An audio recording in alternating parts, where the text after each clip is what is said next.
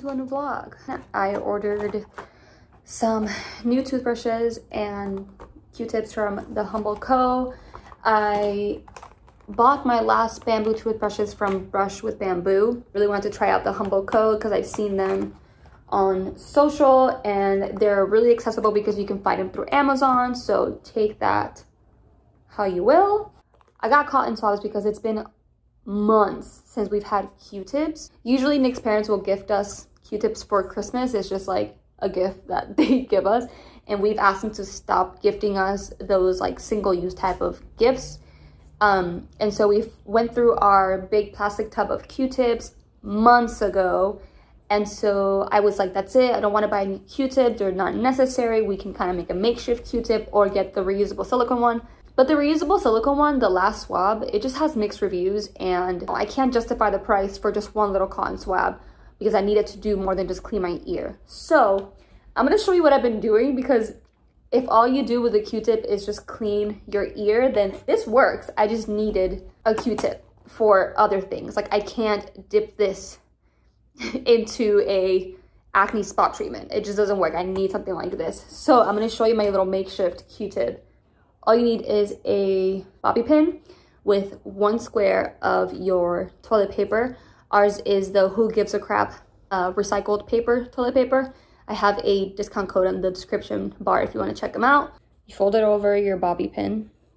You fold over like this, right? So your so your bobby pin doesn't like come out. And then you begin twirling it in. And this is your makeshift Q-tip. Okay, so it does work. You can get in here and clean your ear, you know, do the thing. And then you basically just take it off, refold it on a new area, and you keep, you know, cleaning whatever you need to clean. It's just a makeshift Q-tip, but it works. But again, I, I can't dip this concoction into a pimple spot treatment type of thing. I don't know what they look like. I've never opened them. Oh, that's kind of annoying. Okay, so I thought that they all I thought that this came with just the Q-tips like package free, like just how you get like a big box of Q-tip. So this is an overuse of, of boxes. That's kind of annoying. Okay, so I'll just, I'm going to reach out to them just to make sure that I can compost this packaging. I'm pretty sure I read somewhere on the description that this is printed with soy ink, so I should be okay to compost all this packaging once I need to, and that way I don't have to let this paper go to landfill or even have the need to recycle it. I got the adult medium bristle. Care and disposal, please keep handle dry after usage. The handle is made of 100% biodegradable bamboo and can be disposed of in your composting bin. It will return to soil after a couple of months. The bristles are made of ny nylon 6 and should be recycled with plastics we re recommend to use pliers to remove, remove the bristles or simply cut off the head of the brush. Okay, so this is the exact same process that I have to do with my brush with bamboo toothbrushes. The reason why I like these though is that they're actually all different colors. So Nick and I can just pick a color and we'll know which toothbrush is ours. Right now, our brush with bamboo ones are just regular like white bristles like this. So we've had to like put rubber bands on them or like write our name on them or just something to keep them like separate. Um, now we have little like separate toothbrush holders, but in our other apartment, we just had like one regular like cup where we just kept our toothbrushes. So in the spirit of telling you about new things, I don't know if you've gone to Target recently, but there's a new brand on in Target called Hey Humans. And I bought the toothpaste because toothpaste comes in aluminum packaging, which is super exciting.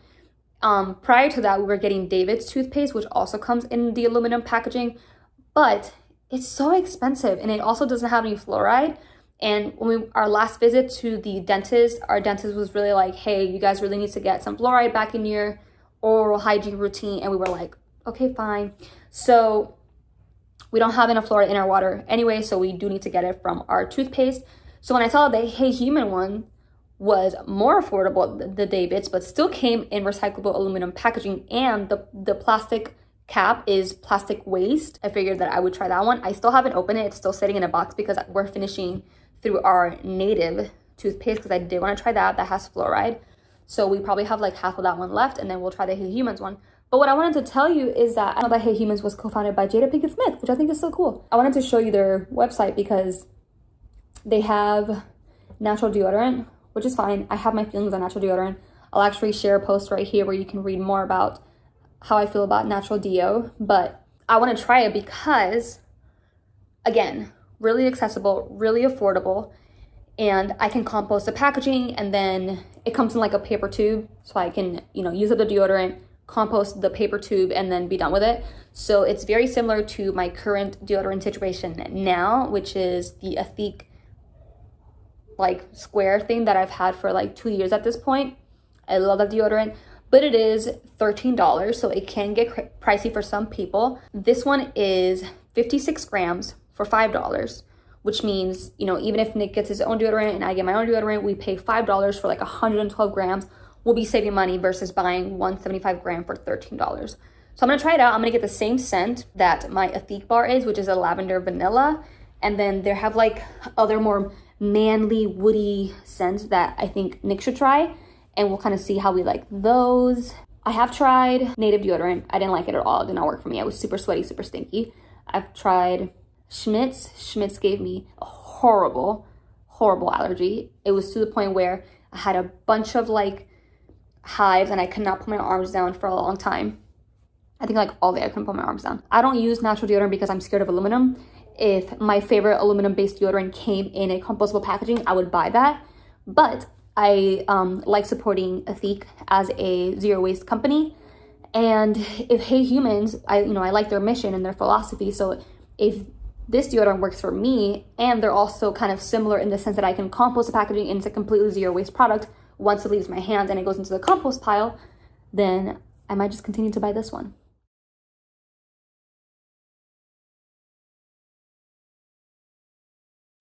Oh, hey, Okay, I wasn't even recording. Hi, happy Monday. It's Monday for me. What day is it for you? Let me know when you're watching this in the comments. Today's a school day for me and it's typically online Monday and Tuesday. My teacher had the fabulous idea of making today a field trip day because last time that we were in school, I had asked her if we were ever gonna get access before getting our license, if we were gonna have access to like a student license number so that we can go to professional store and get different things. For example, I'm looking for lash and brow tinting kits because I'm trying to find cruelty-free brands. That way when I go into the store, I kind of have a handful of brands to look at and see what they offer in store. That's what we're doing today. Also, is my hair cute or is my hair cute? I usually dry my hair when I, my hair was long. I would do like the twisting and I would just let it air like that. It was actually, it was, it was super cute. I loved it. It turned out really, really cute. And then obviously I'm adding some of the 10 in 1 leave-in treatment from Eva NYC and I added some of the texture spray so far so good. I really like it. The only thing that i noticed is that obviously i couldn't twist the bottom middle section of my hair so i do have some pieces that are a little bit straighter than i would like them to be but i don't really care. It's just hair. It'll be fine. But i think it turned out super super cute. What do you think? Let me know. Don't be too harsh. Don't be too harsh. I'm testing out different hairstyles. Okay okay okay. So that was pretty much a bust. We went to two stores. We went to CosmoPro and we went to SalonCentric I found the brand, which yay, but they literally only had the color blue and the color red. I am not gonna be tinting my brows blue or red. The first store actually had some eco-conscious brands. There was like a whole little wall of like clean, quote unquote, clean brands. Clean to me does not mean what you think it means as far as ingredients. Clean to me is more so on ingredient sourcing, supply chain, environmental impact. That's what I think about, which really is not clean. I think we should rename that to just sustainable beauty and just like sustainability in cosmetics. That's really more so what I look for. Our ingredients are not dirty, okay? They're not. Chemists are not out here trying to kill us. But it was nice to see, you know, a small little section in a professional store that had, you know, brands that were using PCR plastics or carbon neutral packaging, you know, fully recyclable materials, you know, not trying to mix and match different um, plastic types to make the product unrecyclable. So that was nice. They did have some nice hair products and nice hair brands that I like from Ulta. They had Verb, uh, a beauty concept, ABC. Obviously, I could have gotten a bunch of that stuff wholesale price, but I don't need anything. I don't. I'm home and I'm home alone. Nick's not here. I'm gonna go pick him up from his parents' house in a little bit. But before I do that, I'm gonna make a matcha.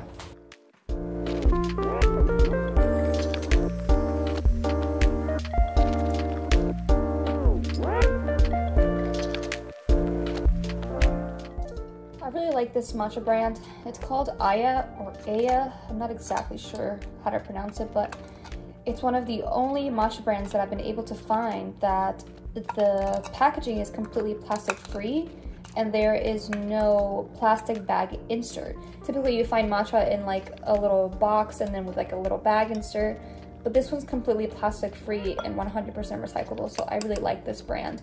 From what I know from matcha, if you know more, please let me know in the comments, but from what I know, ceremonial grade is typically more for teas, and I typically drink matcha in a latte form. I have a video that is quite popular on my channel where I showed you how I make a matcha without a whisk. If you want to see that video, I'll have it linked up here.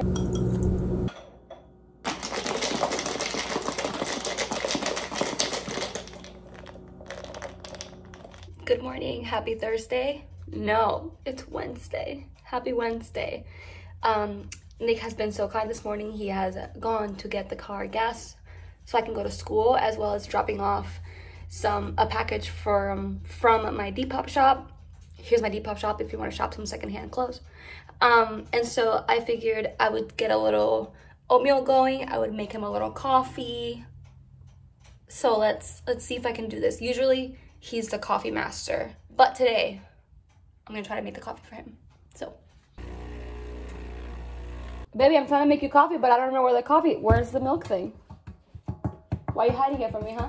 Oh, it is in the fridge. Why is it in the fridge? Because there was a little bit of milk in there left. Wow. Well, now that you're here, you can make the coffee. What?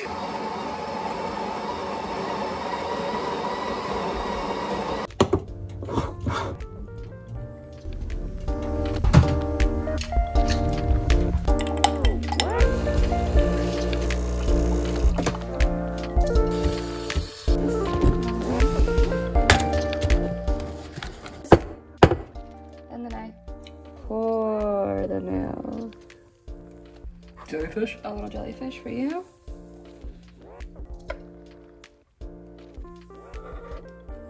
And here's a little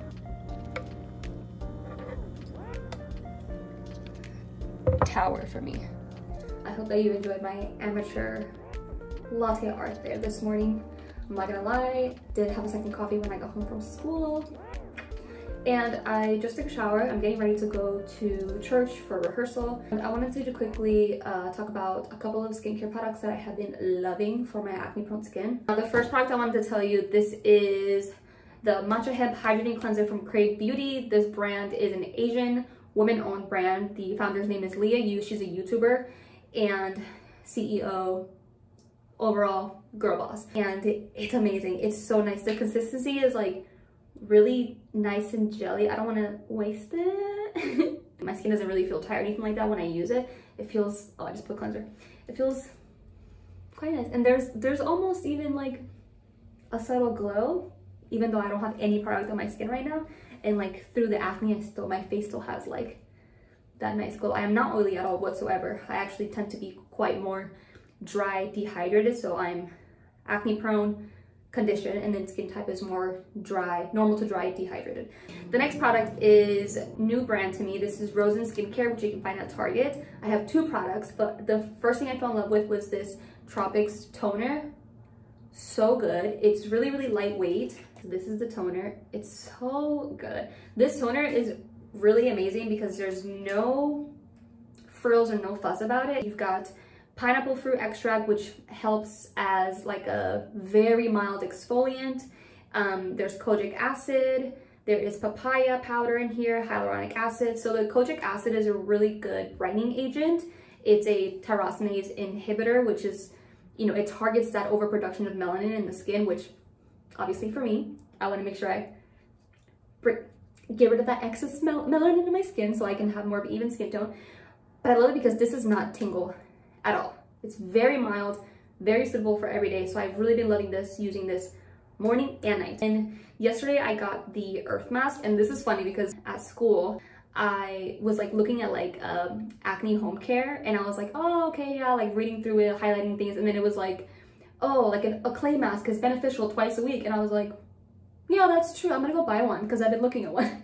so this is the one that I went out to get. And the one thing that I was scared about is that this has eucalyptus oil and I was pretty much freaking out because a lot of people think that fragrance is gonna kill them, but I'm more scared of essential oils. Essential oils tend to be more photosensitive. They tend to have a bigger uh, chance of irritating if they're not used properly. When I opened this though, it smells super strong. Like it smells like Vicks. I put it on thinking that my face was going to burn and I actually didn't feel it at all.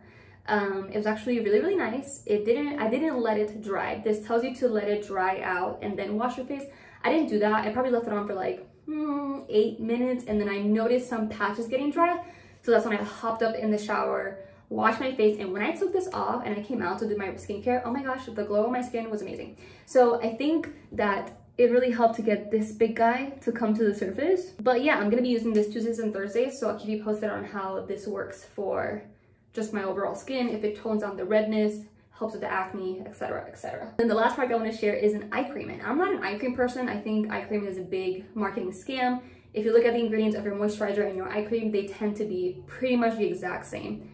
But, there's a but, um, this is very inexpensive, okay? So if you want an eye cream for the step, if you wanna you know, target a particular concern under the eye that your moisturizer cannot do under the eye, then sure, get an eye cream, but don't spend an arm and a leg for an eye cream. So this is the one that I just got.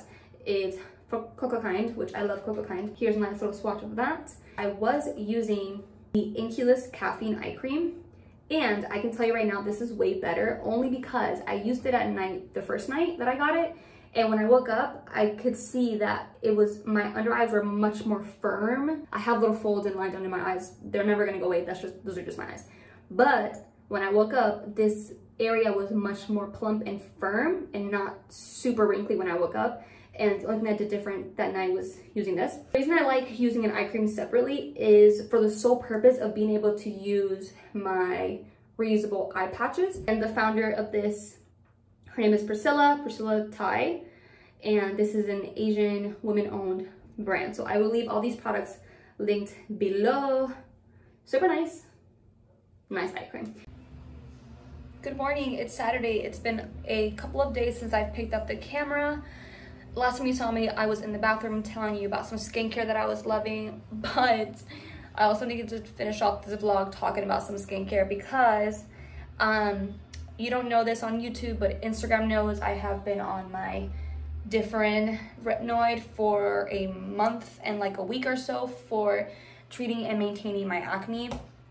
And per Dr. Dray's suggestion on how to use Differin and tackle it and make your own little epiduo, I have also incorporated uh, benzoyl peroxide, which is what I used last year to completely treat my acne. And so I've been using them together three times a week. And I thought it would be a really good idea to see how my skin can handle using this combo five days a week. And so I did every single night last week. And yesterday my skin was raw. Like, I, it took me a couple days to get to a point where I was like, oh girl, you overdid it. I knew it was raw because I pulled out all of my calming, like soothing uh, skincare products and everything burned. So I was like, something's going on here. So I need really need to give a shout out to Krave Beauty's Great Barrier Relief because this is Skin Barrier Repairing Serum Godsend magical bottle right here.